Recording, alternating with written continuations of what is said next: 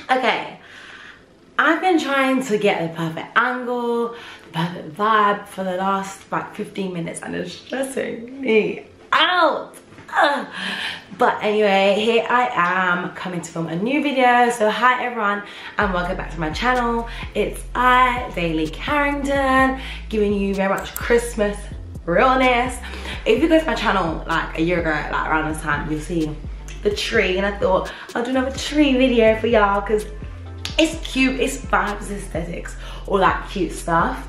But today I'm actually feeling a camp feeling. I'm filming a camp video.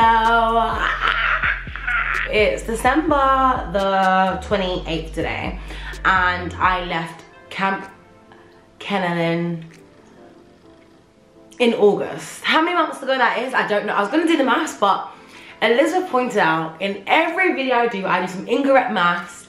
So I'm gonna let you guys work it. I'm no longer doing maths on camera because I simply can't do it. And I literally passed maths by this much. I can't do it. So yeah, as I said, today is a camp video where I give you like the tea, I suppose, like a Q&A on like camp life, what's it like, and all that good stuff. Um, I have been getting quite a few questions on my camp videos. I've got three, four or five, it depends. I've got three videos at camp, one video prior to camp, and one video on my way to camp.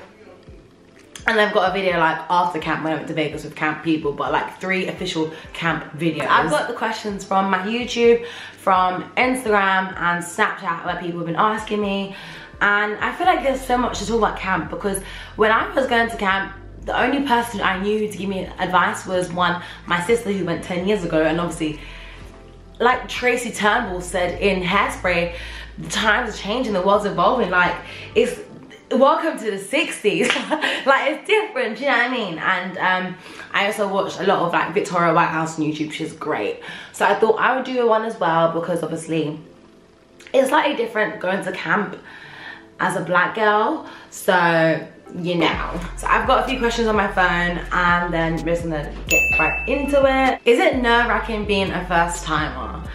Well, ah, of course, like of course for me, it was nerve-wracking because I'm flying 11 hours and I've never flown by myself before. I've flown without my mum, but not me one do you know what I mean? So that was the first factor. Two, I have a long-term boyfriend, so I was like, I was leaving behind that and like, what happens we broke up while I was there? Like, what do we do next? Four, can I count? Wow, I, I, I really can't count. I'm on my third point. Why am I saying four? Wow. And then thirdly, um, I don't know anything about it. I was literally going to a camp 11 hours away in, in California and the time difference is eight hours. So I was really, really out of the loop between like my family, between my friends, between everything. I had no, I, I don't even know who Flo are. I had no clue Flo was a band that blew up whilst I was in America. Like, I literally had no clue about anything that was going on. Do you know what I mean? Like, people would send me Love Island memes, my sister and Razor. I'm like, I don't know who Ekin-Su is. I wasn't there. So it's nerve-wracking because I'm missing out on so much back at home and it's weird that like, life still goes on while you're not there so it's like it's, it was quite you know scary a scary thought. And also because like I, I live at home for uni. I've never gone away from my house for longer than a week. Do you know what I mean? And to do that by myself as well that is like whoa it's you know there, there's so many things that why I made it really nerve-wracking but it was it wasn't that bad. It was it was great. It was, great. What was the food like? So I feel like when you're going to America expecting like burgers wings pizzas fat portion sizes all that good stuff which you can get but on your day off. Uh, but the food it wasn't my favorite. But I gained so much weight while I was out there.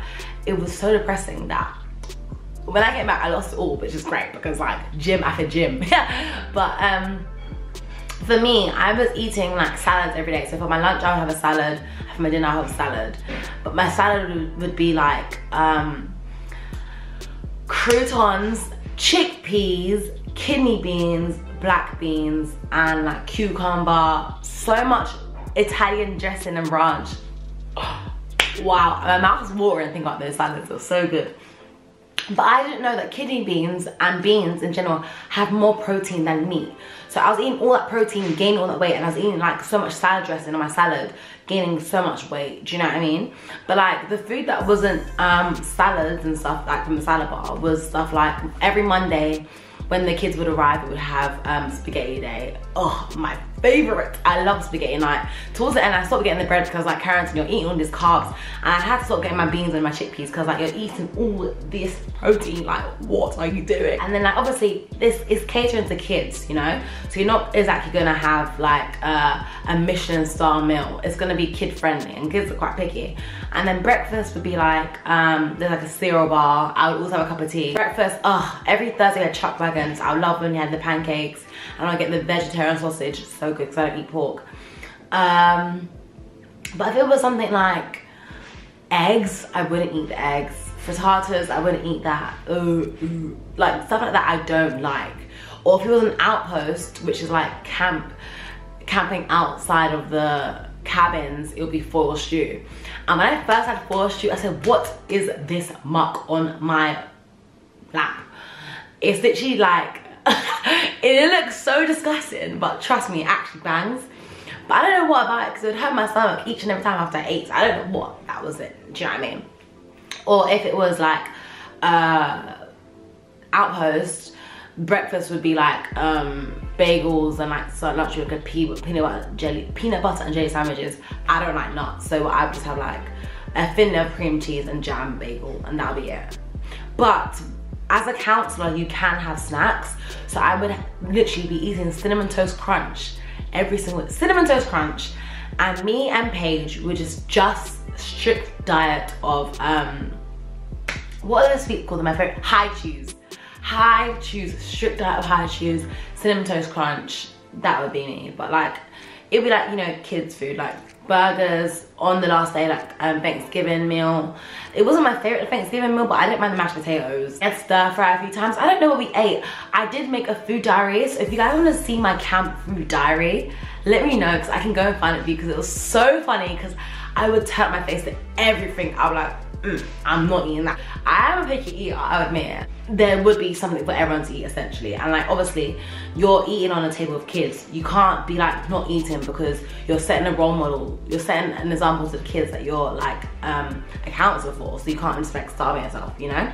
Or there'll be soup. Soup was actually good. Chicken soup. The chicken noodle soup that Brenda made in that kitchen and the staff, bussin'. Was I busy all the time? Yes. Yes, oh yes, oh yes. So your day is basically 20, it's, a, it's, it's technically a 24 hour job. As much as like once you put the kids to bed, you have um, like five hours, to, like three, four hours to yourselves. You can't go off campsite first of all. You have to stay in the campsite. You have to keep the volume down because kids are around sleeping. And you wake up and you're waking up with kids in your room unless you're in a staff cabin, which I was for one week. But you wake up and the kids in your room, so you've instantly got to be counselor mode. You got like, okay, these are random names. Jesse, go brush your teeth. Kelly, go do that. Can you change? We're going to breakfast. Do you know what I mean? Then you're at breakfast and you've got to engage with the kids again. To like be like, oh, how do you sleep? Talk about kids, like what were they're excited for the day, blah, blah, blah. Then you come back from flag race and you go to your first lesson, you teach your next lesson, you teach your next lesson. And obviously you have like three periods in the day, but you still got to, you know, you still got to be always on job and when you're off clock it's like you know pretty much everyone from camp so you're going to talk about camp stuff. And it's like it's inevitable like obviously you talk about things like in the real world but camp is just always on your mind you're worried about your kids or ah oh, like it must have been like an international night and I was off. Eating Pan Express it was actually really good. And I was like oh I wish I was there with my kids enjoying my kids my kids. It's like these are my children. Like I'm a mother of like six. It is quite demanding and like stressful. So on your time off, that's when they recommend you rest. Or like we were like partying like all the time. Which I didn't even vlog too much. I didn't want much of my like co-counselors and my colleagues to be on my channel getting lit and then people sitting there getting trouble. So I was like, if I'm gonna vlog, I'll vlog myself because it's my channel. When did I apply? I applied for camp in like I want to say February. I want to say just before my birthday or if not, it was end of February, so like just after his birthday, something along those lines. What was the representation like for black people? So that was a big thing for me. So when I was doing my interviews for camps, um, I actually asked the director like, what is that like? Because obviously I'm a black person and America can be quite cruel to black people. that's just the reality. So I did ask her, she said like, obviously camp culture is uh, typically a white dominated um, space, which it is. And so she said like there have been like black counselors in the past and stuff like that, but it's mainly like, you know, white dominated. So I was a bit like, that's quite nervous, nerve wracking or whatever. Um, but I still had to go a bit like, I've been to like a predominantly white school before, my uni predominantly white, so it's something that I've always kind of dealt with, but it's not much, I'll be real. Like counselors, it was me, Rihanna and Yaya, two, three black counselors, and like my camp, it was like a luxury rich camp, so to not see many black people, I wasn't shocked. Which follows my next question was like, what what did I do for my hair whilst at camp? That is a freaking good question. I went to camp with braids and my fast egg up self decided to take out my braids at like three weeks in, which I really shouldn't have. I should have kept them braids the whole time when I was there because who am I impressing? My man's at home. so after I did that, I had to like, I was doing like buns.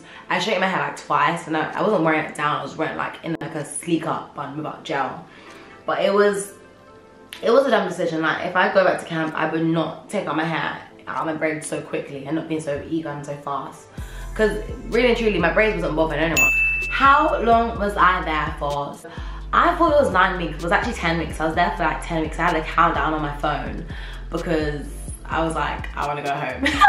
I was like, I don't know if I'm cut out for this. Like these animated Americans sleeping in the woods, the phone reception, I'm not like my phone.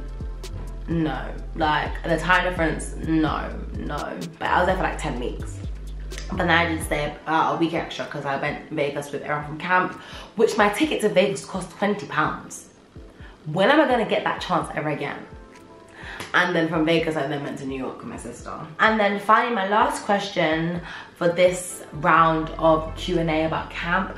If you want another one or you want more camp related topics because you're thinking about applying, which you should, it's once in a lifetime opportunity. Obviously, you can keep going back, but like, stop being the archetype South girl, North girl, East girl, Lincolnshire girl. Do something new. Baby, will I be going back? I've contemplated and debated a lot and I don't think I'm going back to camp. And I say that to say that I have I have reasons. One, because one is like if I'm going again, I'm missing another summer of um like family, friends, boyfriend, blah blah blah blah blah blah. And like me and my boyfriend never been on holiday together, but I've been on quite a few big holidays without him. Do you know what I mean? That's one. Two, I'm graduating. My graduation ceremony is likely to be in the middle of camp and there was a counselor this year who actually missed her graduation. I've been slaving at this University of Arts, London, for me a lot to get my cap and gown. Babe, like, it's not giving. It doesn't make any sense. Why would I, like, why? Do you know what I mean? Like, why, why on earth would I do that? I wouldn't. That's the answer. And also because 10 weeks is a long time to dedicate. And I didn't like, I didn't don't like outposts. Like me sleeping in the woods is not, it's not really fun for me. It's not that fun for me. I'm quite scared in the dark. I don't like the woods. I don't like that stuff. And like, I don't like the cold and it gets really, it's hot in the, during the day it's like up to like 35 degrees. The night, nine degrees, if that, like it's cold. I don't like sleeping in the, no, no. Three, uh, I just like, I would do something new. Like if I could go, if I could do camp and do, um, and do like everything else, I would love to. But I think with the British visa, the minimum I can do is six weeks. Six weeks is still a lot of time to dedicate. And that's, it's only, six weeks is not that long in camp life because that's really only one week session and two two week sessions. I feel like in that aspect I won't. If I didn't have uni, uh, graduation and a boyfriend, probably I would probably I would. And also, it's, it's, it's a lot to ask for someone to wait for you again for another 10 weeks. And I missed my our third year anniversary this year, which is kind of bad. Uh, if I like if I miss a fourth year one, it might just be the end. but yeah, that's all I've got to say for today. I hope it's been a great video. I enjoyed filming this sit down video. I haven't filmed a sit down video in a minute. Um, I wanna do more sit down videos. I wanna do more camp videos actually because I know there's been so much more questions. People wanna know more about camp. I'm supposed to even been getting my, um, yes, I'm supposed to even be getting my, I went to find it, my camp, uh, what's it called? Yearbook. And I'm so excited about to come. My camera run out of storage and I'm not surprised it did because I've got a Vegas vlog on here. The angle's gonna be different, but I need to end this vlog video quick. I'm not surprised I ran out of storage. Okay, you know, the angle's gonna be messed up. I'm sorry. I'm gonna mess because my camera ran out of storage because I've got a Vegas vlog in here, a New York vlog in here, a Qatar vlog in here, and ever crap in between that I've been doing in my life. So I'm not surprised. This SD card I bought in Vegas Best Buy is lasting me a long, long time. That was a best buy. Okay, that was a great buy. Anyway, I was saying that um, I'm expecting my, um, my, yes, I got this letter, I mean text from Royal Mail. My Kennolyn Camps uh, thing, yearbook has passed customs, I'm gonna get real soon. But I know there's gonna be more questions about camp because I get them, I get them a lot. So, um, you know, and I can talk about like how my day went and my favorite things to do and how you should apply to camps, all that great stuff. I can do loads of those videos. Um, but I just wanna quickly end the video now before my storage runs out again. How embarrassing. Ah. but yeah, thank you so much for watching. Uh, please like, comment, and subscribe to my channel. And I was gonna say I'm more consistent, I need to stop saying that. I just need to do it. Just do it. Yeah, yeah, to do it. Please. But yeah, thank you so much. And I hope you enjoyed this one. And I'll see you in my next one. And if this comes out at the start of the new year, then happy new year. And if it doesn't, then happy new year. So I'm wishing you good, happy, ever blessed, good, nice, clean, ever new happy new year, okay? Bye.